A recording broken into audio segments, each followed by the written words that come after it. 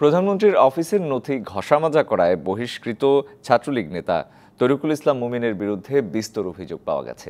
ঢাকা বিশ্ববিদ্যালয়ের ছাত্র না হয়েও থাকতেন আবাসিক হলে। আর টাকার বিনিময়ে সংগঠনের কেন্দ্রীয় নেতৃত্বে আসা মুমিন নিজেও স্বীকার করেছেন অনেক কিছু। পুলিশের জিজ্ঞাসাবাদে জানিয়েছেন, প্রতারণার নানান কৌশলের কথা। খোঁজ দিয়েছেন তার সঙ্গে থাকা একটি চক্রের। জিজ্ঞাসাবাদ ও আদালতে জবানবন্দি দেওয়ার পর তিন সহযোগী সহ এখন কারাগারে মুমিন। নর্থ সাউথ বিশ্ববিদ্যালয়ের কোষাধ্যক্ষ নিয়োগের নথিতে একজনের নামে টিক চিহ্ন দিয়েছিলেন প্রধানমন্ত্রী। আর সে নথি বের করে নিয়ে ঘষামাজা করে আরেকজনকে নিয়োগের ব্যবস্থা করেছিলেন ছাত্রলীগের তরিকুল ইসলাম মুমিন সহ একটি সিন্ডিকেট।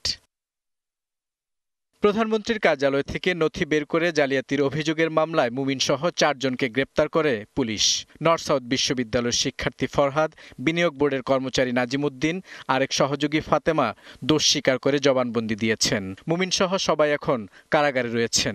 এই মামলাটির গুরুত্বপূর্ণ অগ্রগতি হয়েছে। মামলার সাথে যারা জড়িত ছিল তাদের সম্পর্কে আমরা বেশ গুরুত্বপূর্ণ কিছু তথ্য পেয়েছি। ইতিমধ্যে আদালতে স্বীকারোক্তিমূলক জবানবন্দিও আসামিরা দিয়েছে। তারা যে তথ্যগুলো দিয়েছে সেগুলো আমরা যাচাই বাছাই করছি এবং পরবর্তী পদক্ষেপ আমরা ডেফিনেটলি নিব। মামলাটা যে সংক্রান্ত হয়েছে আমরা এখন পর্যন্ত ওই বিষয়টিতে কনসেন্ট্রেট করছি। গ্রেপ্তার হওয়ার পর মুমিনকে বহিষ্কার করে ছাত্রলীগ। তার বিরুদ্ধে অভিযোগের শেষ নেই। সেমিস্টার ফাইনালে যে আমরা উদ্ঘাটন করি যে সে ঢাকা বিশ্ববিদ্যালয়ের ছাত্র নয় হাসান ভাইয়ের খুব ক্লোজ বা এরকম বলতো আসলে বিষয়টি তেমন ছিল না। সেভাবেই চাপাবাজি করে সে দিনানিপাত করতো। রাব্বানির হাত ধরে তার হাতে বাংলাদেশ ছাত্রলীগে হাতে করি।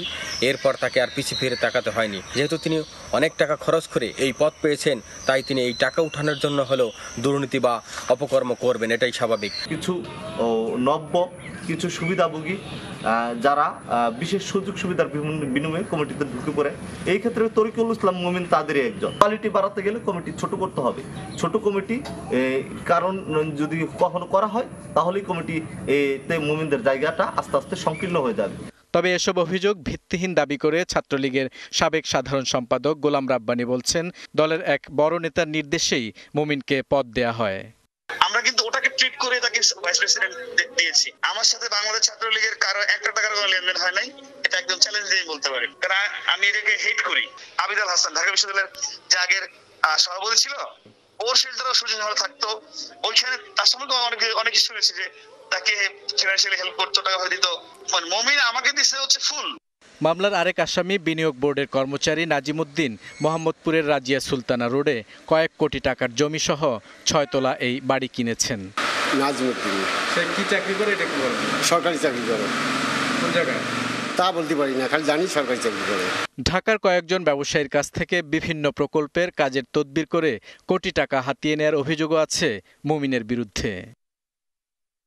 Bulbul Reza DBC news Dhaka.